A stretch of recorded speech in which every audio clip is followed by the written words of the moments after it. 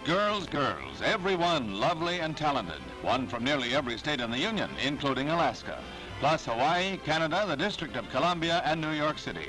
52 entrants narrowed down to 10 before the final talent contest in the series of eliminations that make up the annual Miss America tourney.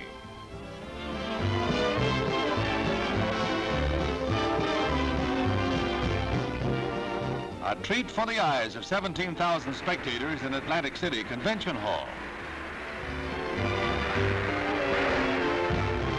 The winner, a brunette miss from Mississippi, Mary Ann Mobley. The 21-year-old co-ed is 5 feet 5, weighs 114 pounds, and her choice is a popular one.